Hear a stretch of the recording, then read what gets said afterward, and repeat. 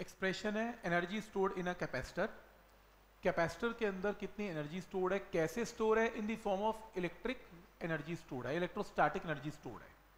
NCERT e के लिए important है ये एक्सप्रेशन आता है energy stored in a capacitor का एक्सप्रेशन डेरिवेशन की फॉर्म में. तो एनर्जी कभी भी क्यों स्टोर होती है? जब भी हमने क्या डिस्कस किया नेचर के अगेंस्ट काम होगा तो एनर्जी स्टोर होगी. और मैं वर्क डन करूँगा अगेंस्ट नेचर तो एनर्जी स्टोर होगी. फॉर एग्ज़ाम्पल आपके पास ये प्लेट पॉजिटिव है, ये प्लेट नेगेटिव है। एक मिनट इमेजिन करो कि आपने इसको छोड़ दिया। तो अट्रैक्ट होकर पॉजिटिव के साथ चिपक गई। ये प्लेट फिक्स्ड है तो आपने सेकंड प्लेट को उठा के खींचना शुरू किया। क्योंकि पॉजिटिव नेगेटिव अट्रैक्ट कर रहे हैं नेचर का लॉ है।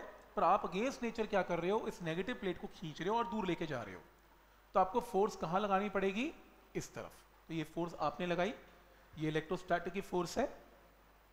आपको इन प्लेट्स को डी सेपरेट करने के लिए क्या करना पड़ेगा? अमाउंट ऑफ़ वर्क डन तो जो भी आप अमाउंट ऑफ़ वर्क डन करेंगे, वो work done will give amount of या expression for potential energy stored इन a capacitor in the form of electric field.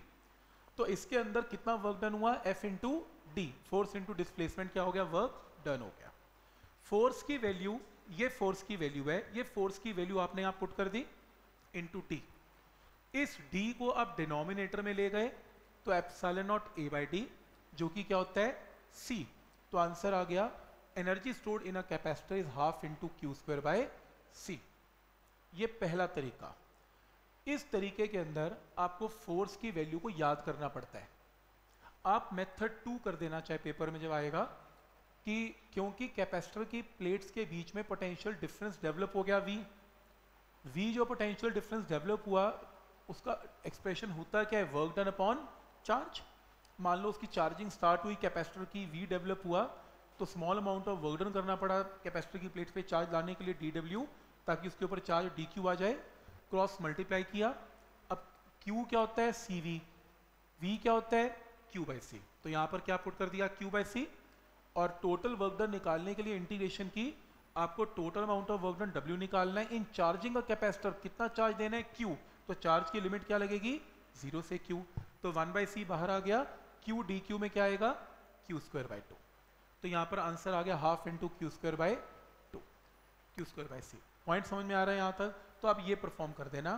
तो आप इसमें ये भी देखें कि energy half Q square by C है और चार्ज क्या होता है? सी वी तो आप क्यू की जगह पुट करेंगे C V C square V square तो आंसर क्या आएगा? हाफ़ सी वी स्क्वायर ये पॉइंट भी क्लियर है। उसी तरीके से energy half Q square by C होती है और चार्ज क्या होता है? सी वी तो सी की जगह क्या पुट कर सकते हैं? क्यू बाई वी पुट करेंगे सॉल्व करेंगे एनर्जी का तीसरा फॉर्मूला आप कोई मर्ज़ी फॉर्मूला यूज़ कर सकते हैं। अकॉर्डिंग टू न्यूमेरिकल देखना पड़ेगा। तो आप लिखें फॉर्मूला बुकलेट में energy stored in a capacitor का पहला formula energy stored in a capacitor का दूसरा फॉर्मूला और energy stored in a capacitor का तीसरा फॉर्मूला ये तीनों के तीनों नोट करें प्लीज़